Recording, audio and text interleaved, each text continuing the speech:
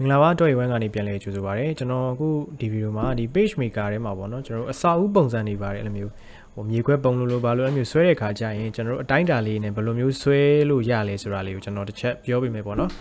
အဲ့တော့ကျွန်တော်အရင်ဆုံးဒီ file ထဲက new ရဲသွားပြီးတော့ A4 site လေးခေါ်လိုက်ပါမယ်နော်ပြီးသွားရင် double side facing page magic ဖြုတ်ပြီးတော့ okay နိုင်မယ်အဲ့တော့ကျွန်တော်တို့ဒီအဓိကဘာဖော်ထားဖို့လို့လဲဆိုတော့ဒီ window အောက်မှာပေါ့နော်အာ window အောက်မှာကျွန်တော်တို့ဒီ show to ပေါ့နော် two box ဖွင့်ထားရမယ်ပြီးသွားလို့ရှိရင် show control palette ဆိုတဲ့ဟာလေးနော် palette ဆိုတဲ့ဟာလေးအားလေးဖွင့်ဖို့လိုတယ်ဒီ control palette ကတော့သိမယ်နော်အာကျွန်တော်တို့ရွေးရွေးချယ်လိုက်တဲ့ tools နဲ့ပတ်သက်တဲ့ setting တွေဒီမှာမြင်ရမှာအဲ့တော့ကျွန်တော်တို့ကမြေကွက်ပုံစံလေးတွေနော်ဟို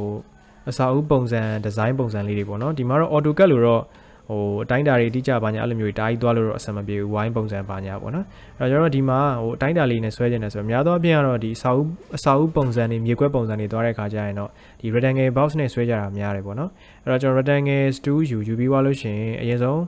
ကိုလိုချင်တဲ့ site ဟိုပါပေါ့နော် site တစ်ခုလောက်ပုံတစ်ခုလောက်ဆွဲလိုက်ရတယ်ဆွဲပြီးသွားတဲ့အချိန်တွေကျရင်ကျွန်တော်တို့ကသူ့ကို selection 2နဲ့ selection မှတ်ပေါ့နော်မှတ်ပြီးသွားရင်ဒီ control palette ပေါက်မှာပေါ့နော်ကျွန်တော်ဒီမှာ width နဲ့ height တွေ့လိမ့်မယ်အဲ့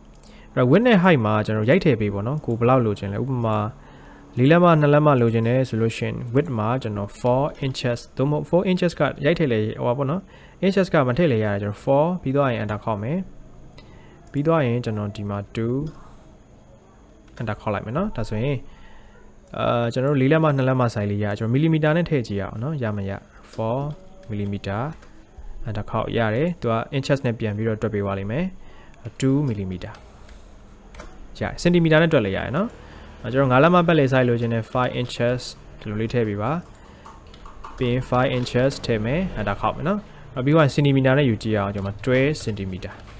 space လေးချပြီးရိုက်ပြီနော်အာဒီမှာတော့စင်တီမီတာတော့မရဘူးလို့ပြောထားတယ်မီလီမီတာနဲ့ inches ပေါ့နော်ဒါပဲရလိမ့်မယ်နော်တခြား unit တွေလည်း try not try ကြည့်ပေါ့နော်ကျွန်တော်တော့ များသောအားဖြင့် inches နဲ့ပဲတွက်ပြီးတော့ဆွဲတာများတယ်ပေါ့နော်အဲ့တော့ကျွန်တော်ဒီမှာကြိုက်တဲ့အဲလက်မအရေးအတွက်ရိုက်ထည့်ပြီးတော့ enter ခောက်ပေးပါအဲ့ဒါဆိုရင်ကျွန်တော် rectangle box လေးတွေအသုံးပြုပြီးတော့ကျွန်တော်တို့ကဟိုမြေကွက်ပုံစံတို့ဘာလို့စာအုပ်နေရာချတဲ့ပုံစံလေးတွေအချမ်းပြင်းရာလို့ရမယ်လို့ထင်ပါတယ်နော်ဒါဆိုရင်ဒီဗီဒီယိုကအကျိုးရှိလောက်မယ်လို့ထင်ပါတယ်နောက်ရက်ဒီမှာကျွန်တော်နောက်ဗီဒီယိုတွေနဲ့ပြန်ဆုံကြမှာမို့ကျွန်တော်ရဲ့ဒီ YouTube channel လေးကိုလည်း subscribe မလုပ်ရသေးရင် subscribe လုပ်ပေးဖို့ပြောချင်ပါတယ်အဲဒီဗီဒီယိုလေးကိုလည်း share ပေးသွားလို့ရပါတယ်နော်